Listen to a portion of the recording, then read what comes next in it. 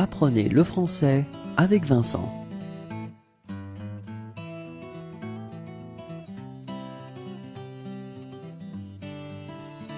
Une pile de livres.